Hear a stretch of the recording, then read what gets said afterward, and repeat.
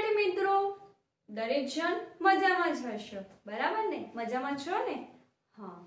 હવે, આગળના વિડીયોમાં મેં તમને બેથી ત્રણ પ્રવૃત્તિ કરવા માટે કીધી હતી. બરાબર? મને આશા છે કે તમે એ પ્રવૃત્તિ કરી જ હશે અને તમારી ચોપડીમાં એના જવાબ લખ્યા જ હશે. હવે આજે આપણે થોડું આગળ જઈએ.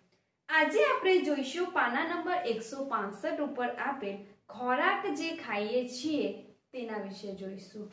બરાબર? તો ચલો જુઓ. બાળકો ચોખા, ઘઉં, મકાઈ જવમાંથી બનેલ કઈ વસ્તુ સવારે ખાય છે? તે બાબતે વાતો કરી રહ્યા છે.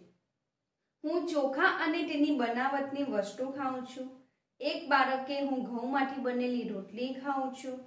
એક બાળકે છે, પરંતુ હું તો મકાઈમાંથી બનેલ રોટલી ખાઉં છું. એક બાળક કે છે, મને જવમાંથી બનેલ સત્તુ પીવાનું ખૂબ પસંદ છે. તો એક બાળક શું કહે છે, મને રાગીમાંથી બનેલ કાંજી ખૂબ પસંદ છે. હવે તમને પણ બધી અલગ અલગ વાનગી પસંદ હોય છે. બરાબર ને? અત્યારે તો સૌથી વધારે મને તો પિઝા ભાવે. તમને ભાવે? ભાવે ને? એટલે કે આપણને દરેક જણને આપણી પસંદ અલગ અલગ હોય. કોઈને સેન્ડવિચ ભાવતું હોય છે, કોઈને શાક રોટલી ભાવતા હોય, કોઈને દાળ ભાત ભાવતા હોય. બરાબર? એટલે કે દરેક જણની પસંદગી કેવી હોય છે? અલગ અલગ હોય છે. એના આધારે તમારે પાના નંબર એકસો ને છાસઠ ઉપર આપેલ એક કોષ્ટક તૈયાર કરવાનું છે. આ રીતે. એમાં સૌથી પહેલા લખવાનું મુખ્ય ખોરાક અને વ્યક્તિની સંખ્યા. તમારે અને તમારા આજુબાજુમાં જે કોઈ વ્યક્તિ રહેતા હોય તેમને પૂછવાનું. બરાબર? અહીંયા ગાડી વ્યક્તિની સંખ્યા છે. એટલે તમે ગમે તેટલા વ્યક્તિને પૂછીને એમની પસંદગી ના પસંદગી લખી શકો કે કેટલા જણને ચોખા પસંદ છે અથવા તો ચોખામાંથી બનાવેલ વસ્તુ ખોરાક તરીકે લેવાની પસંદ છે? કેટલા જણને ઘઉંમાંથી બનેલ વસ્તુ ખાવાની પસંદ છે? કેટલા જણને જુવારમાંથી બનેલ વસ્તુ ખાવાની પસંદ છે, બાજરી, મકાઈ, રાગી. એ રીતે તમારે એ લોકો વ્યક્તિને પૂછવાનું કે તમને સૌથી વધારે કઈ વસ્તુમાંથી બનેલી વાનગી વધારે ભાવે છે? અને પછી તેની સંખ્યા તમારે અંદર લખતા જવાનું. ચાલો, એના આધારે પછી તમારે નીચે આપેલા પ્રશ્નના જવાબ આપવાના છે. હવે મેં આ રીતે કોષ્ટક તૈયાર કર્યું છે, એટલે હું મારા જે જવાબ હશે તે આ કોષ્ટકને આધારે આપીશ.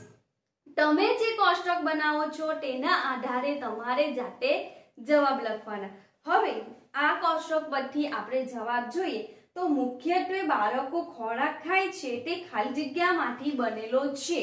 હવે અહીંયા જો સૌથી વધારે ખોપાસા વ્યક્તિની સંખ્યા ક્યાં છે તો કે બત્રીસ. બરાબર? બત્રીસ વ્યક્તિને સાની વાનગી ભાવે છે તો કે ઘઉંમાંથી બનાવેલ વાનગી ભાવે છે. તો મુખ્યત્વે બાળકો ખોરાક ખાય છે તે ઘઉંમાંથી બનેલો છે. હવે ઘઉં એ અનાજ જ કહેવાય. બરાબર? એટલે કે આપણે અહીંયા ગાડી કયું અનાજનું નામ લખવાનું છે? એટલે કે સૌથી વધારે ઘઉં માંથી બનેલી વાનગી વધારે પસંદ છે. બીજો સવાલ. જે બાળકો ચોખા ખાય છે, તેમની સરખામણી જે બાળકો ઘઉં ખાય છે, તેમની સાથે કરો. તો ચોખા માત્ર છ વ્યક્તિ જ છે. ચોખામાંથી બનાવેલ ખાનાર વ્યક્તિ કેટલી છે? છ છે. જ્યારે ઘઉંમાંથી બનાવેલ વસ્તુ વાનગી ખાનાર કેટલા વ્યક્તિ છે? બત્રીસ છે. એટલે કે સૌથી વધારે છે. જે બાળકો ઘઉં ખાય છે, તેમની સરખામણી જે બાળકો રાગી ખાય છે, તેમની સાથે કરો. તો ઘઉં વધારે ખાય છે કે રાગી વધુ ખાય છે? તો કે ઘઉં વધુ ખાય છે, રાગી ઓછું ખાય છે. બરાબર? એવી જ રીતે આગળ જુઓ. વર્ગખંડ નાટકની તૈયારી. ચાલો, તમને એક કોષ્ટક આપવામાં આવ્યું છે, એક ચાર્ટ આપવામાં આવ્યો છે. બરાબર? તો હવે એ ચાર્ટ વિશે આપણે ચર્ચા કરીશું. વિદ્યાર્થી મિત્રો, તમે તમારી ચોપડીની અંદર આ રીતનો એક ચાર્ટ જોઈ શકો છો. જેની અંદર લખેલું છે અહીંયા બાળકોની સંખ્યા. એટલે કે આ જે આકૃતિ આપેલી છે, એ બાળકોની સંખ્યા દર્શાવે છે. હવે બાળકોની સંખ્યા, અને અહીંયા શું આપ્યું છે? અભિનય, કપડા એકત્ર કરવા વાળા સંગીત વગાડવા વાળા અને સેટ તૈયાર કરવા વાળા તો કે અભિનય કરનાર તો કે આટલા બાળકો, કપડા એકત્ર કરનાર તો કે આટલા બાળકો, એ બાળકોની સંખ્યા આપેલી છે કે કયા વિભાગમાં કેટલા બાળકો કામ કરશે. હવે વિદ્યાર્થી મિત્રો, તમને ખબર હોય તો તમારી શાળામાં પણ કોઈ પણ ફંક્શન કરવામાં આવે તો તમને એક ટુકડી આપવામાં આવે કે ચાલો આ સફાઈ કામ છે, તો ચાલો કચરા પેટી તો કે આટલા વિદ્યાર્થીઓ લઈને જશે? કચરો તો કે આટલા વિદ્યાર્થીઓ વણશે? કચરો નાખવા કેટલા જશે? તો કે આટલા વિદ્યાર્થીઓ નાખવા જશે? એ રીતની તમને પણ વિભાજિત અલગ અલગ વર્ગમાં વિભાજિત કરવા માટે એવી જ રીતે આ એક નાટકનો ચાર્ટ છે ને, એની અંદર અલગ અલગ વિદ્યાર્થીઓને વિભાજિત કરવામાં આવ્યા છે. હવે, અહીંયા તમને આપ્યું છે કે એક ત્રિકોણ, એટલે કે આ ત્રણ બાળકો દર્શાવે છે. એટલે આપણે એક ત્રિકોણ બરાબર ત્રણ બાળકોની ગણતરી કરવાની. ગમે તે થાય આટલી કોઈ સૂચના લખેલી હોય તો બરાબર ધ્યાનથી વાંચવાની. અહીંયા તમને આપેલું છે કે ત્રિકોણ આ ત્રણ બાળકો દર્શાવે છે.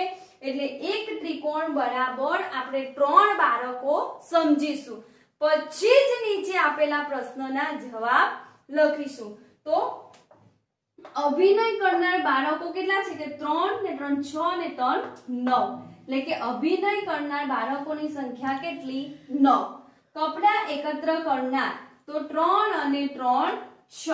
તો કપડા એકત્ર કરનાર બાળકોની સંખ્યા કેટલી છે? છ. સંગીત વગાડવા વાળા તો કે ત્રણ, છ, નવ, દસ, અગિયાર અને બાર. તો સંગીત વગાડનાર બાળકોની સંખ્યા કેટલી થશે? બાર. અને સેટ તૈયાર કરવા વાળા તો ત્રણ અને ત્રણ છ. એટલે કે સેટ તૈયાર કરવા વાળા બાળકોની સંખ્યા થશે છ. કારણ કે આપણને કીધું છે કે ત્રિકોણ બરાબર ત્રણ બાળકો સમજવા.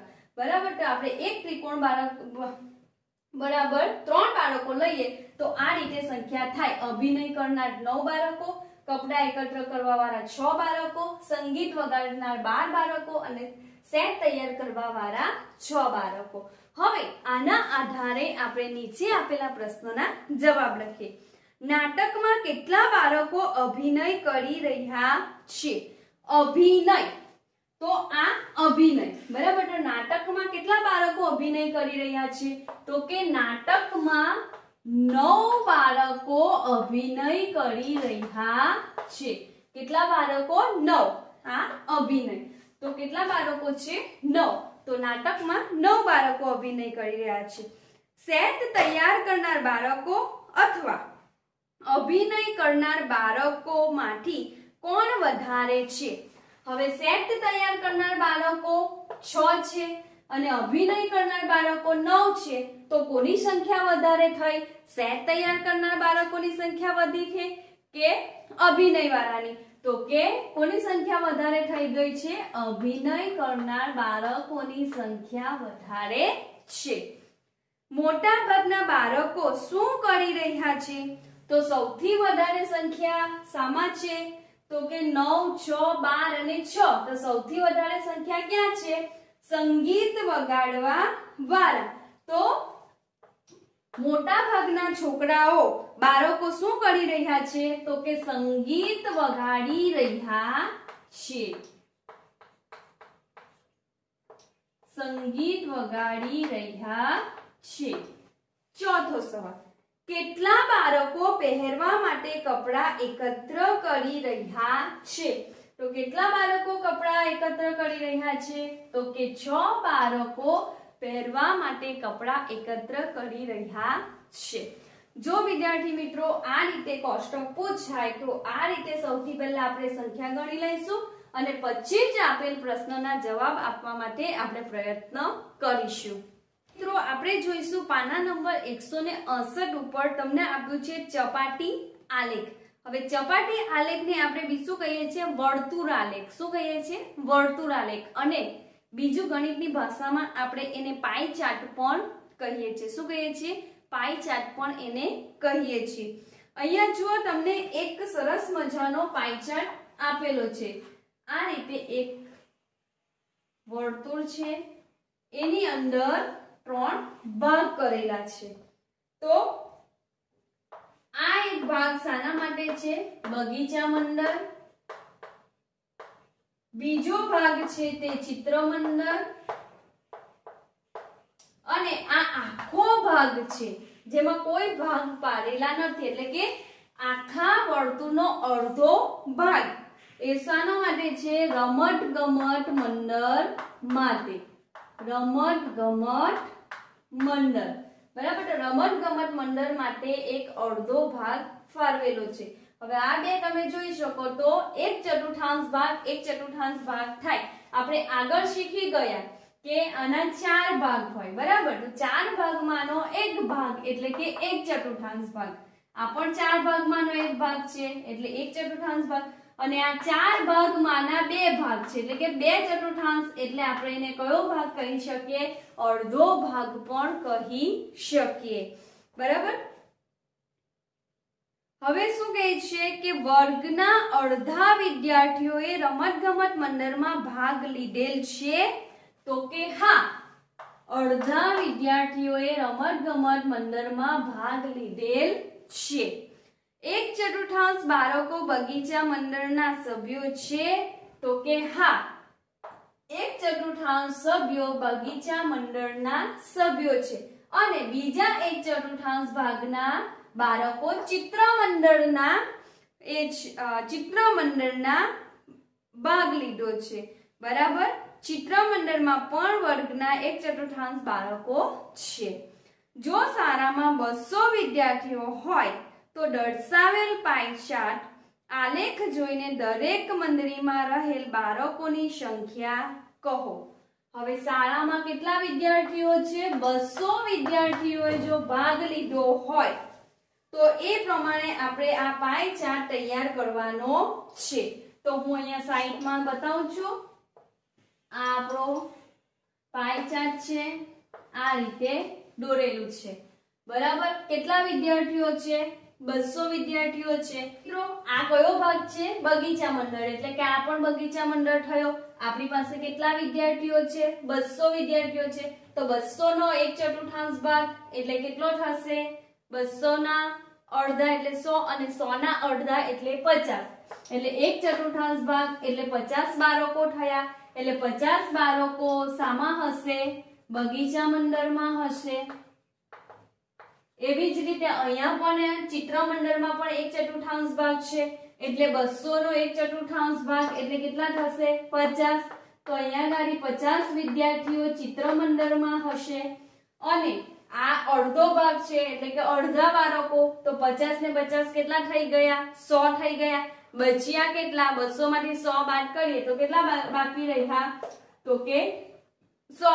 તો અડધા ભાગના બાળકો એટલે કે સો બાળકો રમત ગમત